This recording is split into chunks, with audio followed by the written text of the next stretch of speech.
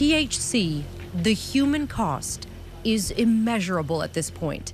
The growing demand for marijuana products creating a black market across America that's outpacing the government's ability to protect people. The only thing that they care about is profit. And if you're in the way of the profit, they're coming after you. Just last week, prosecutors say a man murdered four workers at an illegal cannabis farm in Oklahoma after demanding payment for his alleged investment in the operation. And in the last year, authorities discovered 750 unregistered cannabis farms just in Los Angeles County alone. The solution is to legalize, regulate, and tax. Oregon Congressman Earl Blumenauer says the problem isn't states like his legalizing marijuana, it's the federal government refusing to act.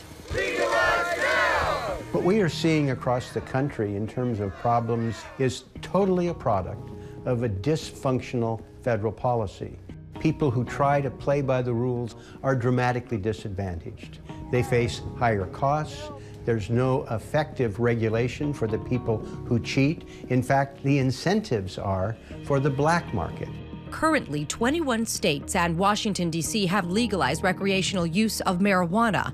Advocates say the product needs to be decriminalized nationally to prevent cartels from smuggling cannabis to buyers in states where it's still illegal. We need to move forward with comprehensive cannabis reform, and if they're able to, the black market issues will decline and the cartels will lose their advantage. Improved regulatory practices are also a must. There's no regulation. Not to say that it's only the illegal growers that aren't paying. The, Ill the legal growers also.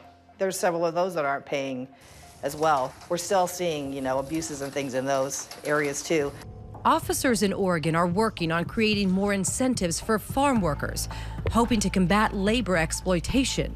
The law is very clear. If you're a victim of human trafficking, uh, the law is on your side. There are various protections that we can put in place uh, in order to uh, mitigate any type of uh, immigration concern that these victims would have. That includes visas for trafficking victims in exchange for cooperating with law enforcement officials against their captors.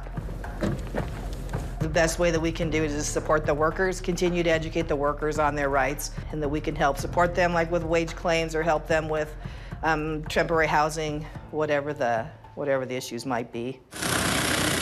Above all, Blumenauer says time is of the essence. The black market marijuana trade will continue to thrive on U.S. soil if the status quo remains the demand continues. The need is greater than ever because of what you're documenting in terms of the illegal activities, enforced labor, the environmental problems. If we were able to vote on this issue on the floor of the House and the Senate, the problem would be gone in a week. Que se cuelga de la gente, Diokis, y mm, saquen bien sus papeles para que se puedan, puedan trabajar en, en una parte mejor y no sea la mota. O sea, que hay veces que si quiero olvidar todo. ¿Pero puede? No.